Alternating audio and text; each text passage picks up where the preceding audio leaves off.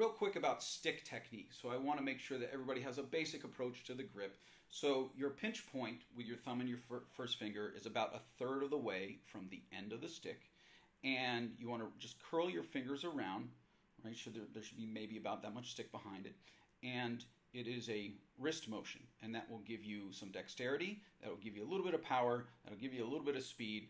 You have a nice amount of control without having to do too much work. If you use arm, it slows you down, and if you use smaller muscles, it might be quicker, but it's not going to be as loud.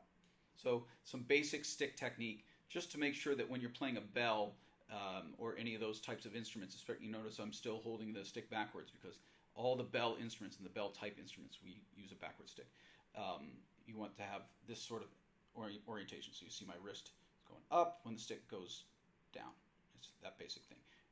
Just in case, I because you guys are movement specialists, this is a little bit about the very small choreography that you do when you drum.